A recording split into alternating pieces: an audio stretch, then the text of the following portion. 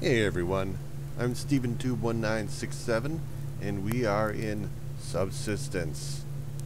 So, I just thought I'd take a break from playing The Infected. I've been playing that for like a couple weeks since the patch update for 5.0 came out. So now we're in Subsistence, checking some things out. Uh, we've been in November here. We're playing 365 days in a year, so I think we're about halfway through with November. And there's some things I hope to get done before the lakes freeze over. And one of those things I wanted to get done was to make sure that um, was to get um, more of the crystal ore or crystals out of the uh, underwater cave because need those crystals for making things like grenades or not the grenades but making the arrows for grenades.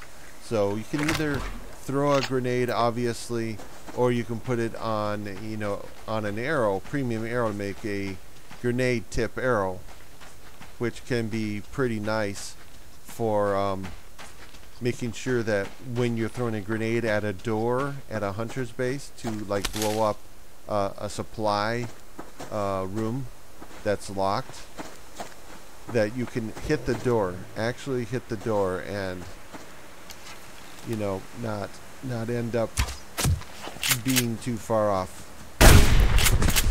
Because sometimes with those grenades even with the molotov cocktails you can end up missing a part of the door and then the next thing you know it's like uh, the door didn't only take took like glancing damage you know what I mean and then you're like, shoot, I just, you know, I crafted the stupid grenade, the Molotov, it wasn't accurate enough, and now I have a door that still has a ton of damage that I have to do to it to break it open.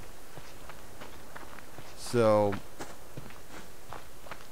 I uh, went down to the underwater cave like yesterday in the game, and I didn't do a video about it or anything sometimes the stuff is super boring and I don't want to um, get too involved in showing the the grind, the grindy stuff. I mean, I'll show you some of it, but it's got to have a purpose, you know. It's got to have a purpose to showing you the grind that when a, when when a day comes and I'm just doing a grind, there needs to be a reason for it. So anyway, I made a bunch of grenade tipped arrows and I thought, you know, it was it was like a day or two ago that I last raided the Hunter's Fortress, and I don't want to hit it up. I don't want to hit it again so soon. I have no idea how long it takes for the hunters to resupply their fortress, but in case it takes some time, I thought that I would, uh, you know, I'd give them a few days you know, three to three to five days to to uh, restock their supply. And while I was doing that, I thought, you know, I need some action. I just need a little something, something exciting. Because I know sometimes these videos get a little bit tedious. Especially when we're just building something. I mean, it depends. Watching a build is fun, but uh, action is also fun. Action's a lot of fun. So I thought that there were supposed to be some bandits over here. And I wanted to try something out, but I need to get the bandits. Let me check down there. Okay, that's a wolf. That's not what I want. So I happen to have, well, I'm not going to spoil it for you. I'm going to hold on. I'm going to tell you in just a little bit if we can spot these bandits. I checked last night in the map, and I think the map is great. I think every game like this needs to have a map where you have the ability to kind of track others in the game to see what they're doing.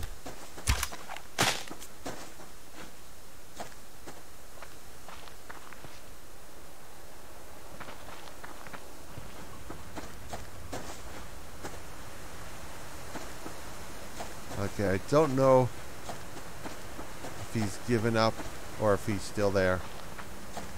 But I wanted to try something.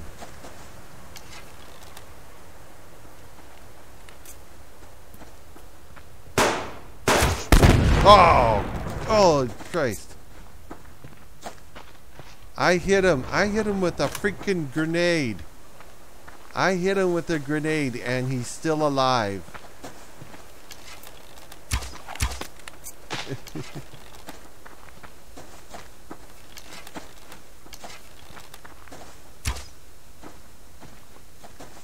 On, Ramblo.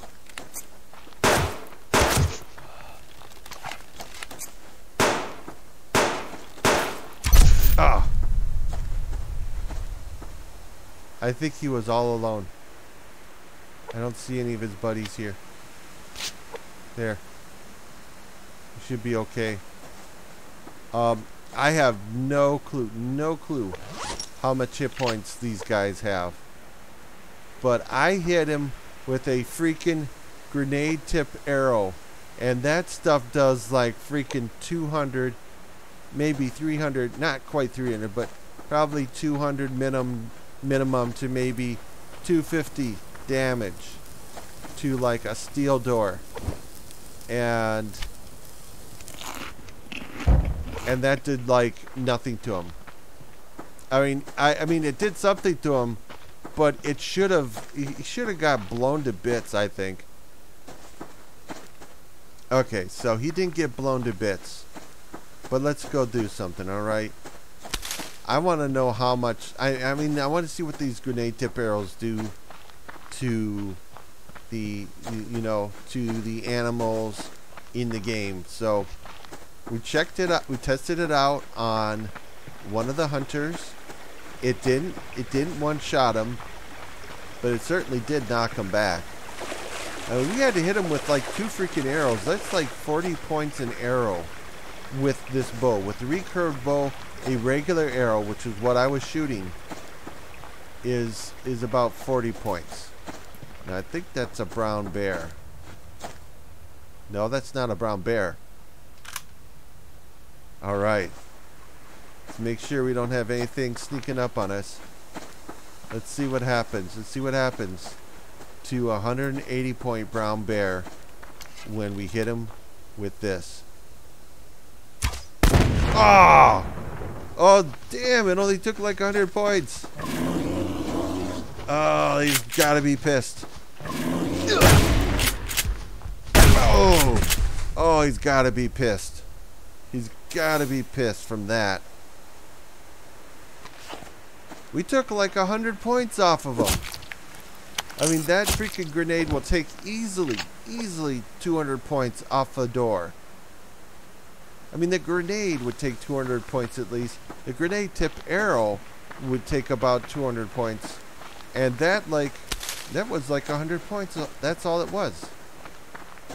I mean, I don't know. I got, I got, I gotta like, I gotta like state my complaint. there's, there's something clearly wrong. I mean, that that bear is not that bear, as tough as a bear is, isn't a steel door.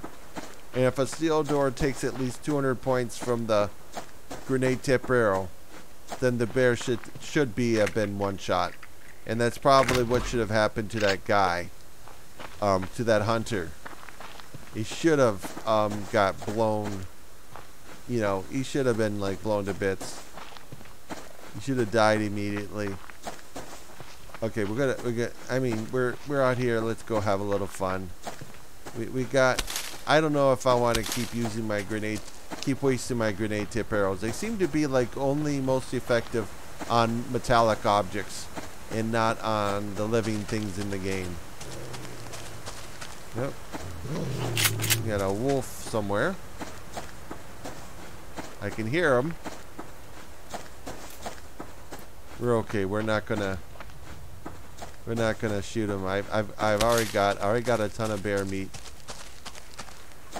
So I'm not going to. Uh, I don't I don't feel a need to shoot shoot shoot the uh, that wolf that was following us. I want to find I want to find a um, a moose. And I know you're saying like, well, don't you know that it does only like 100 damage? If that's all it does to like the animals, then don't let, waste your time with the moose because it's gonna do 100 points of damage.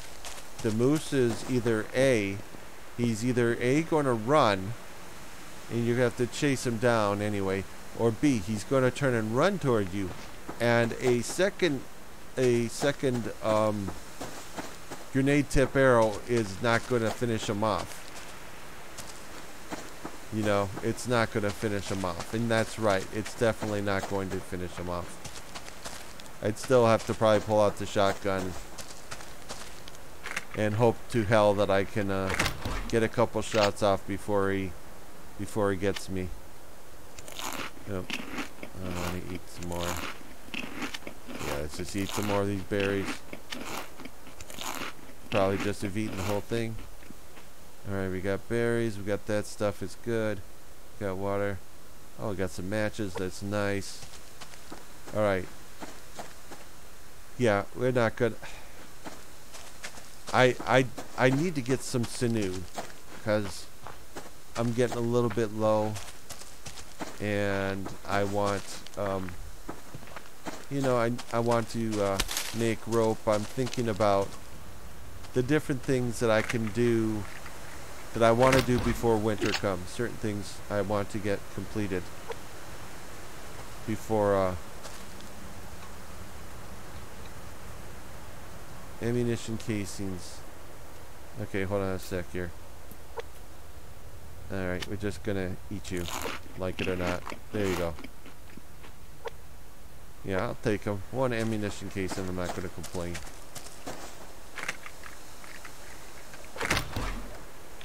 Good. I don't know. I got two. I got two of them on me.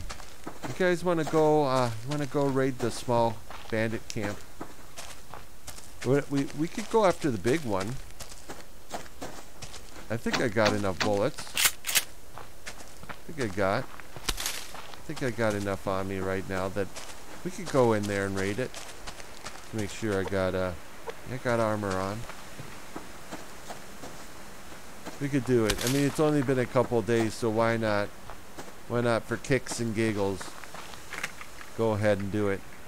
Although I think I'm going to have to empty my bags because I got way too much stuff. But, um, actually, we don't have a breaching charge to break the door down. Okay, that's some scrap metal.